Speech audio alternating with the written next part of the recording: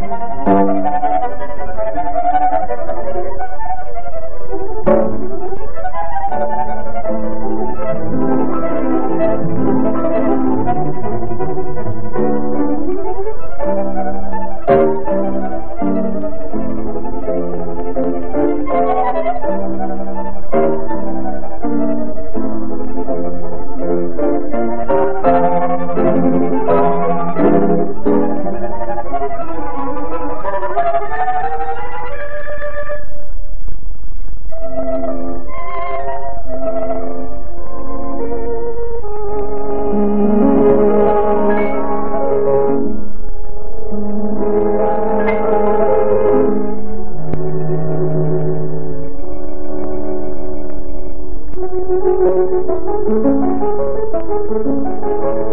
you.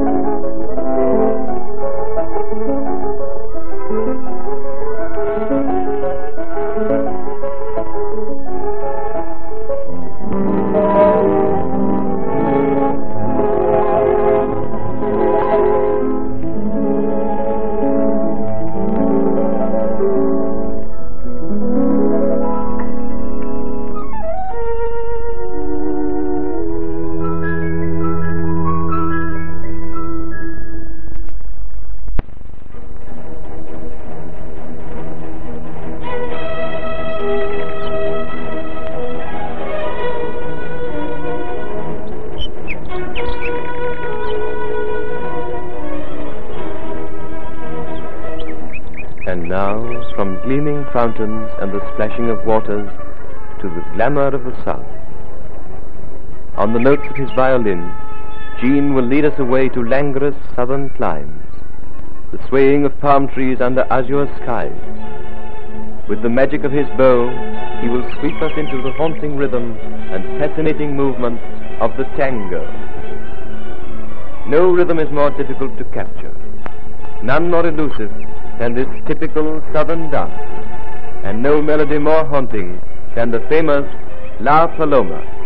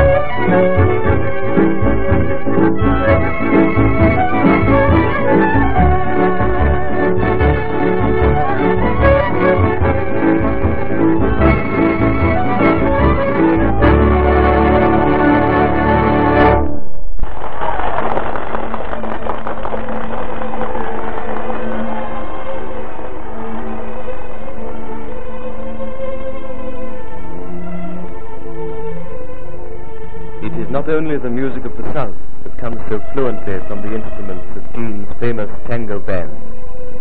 With the same facility, he will bid you leave the warmth and glamour of the South and follow him northward.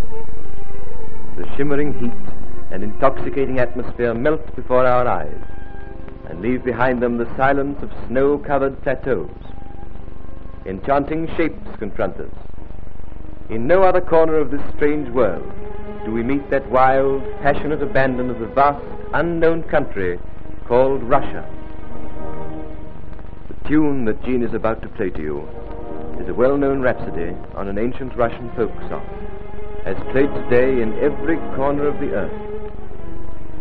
No one knows who wrote it. It crept quietly and unobtrusively into world fame, and is recognized as the emblem of that great land of mystery and known simply as Black Eyes.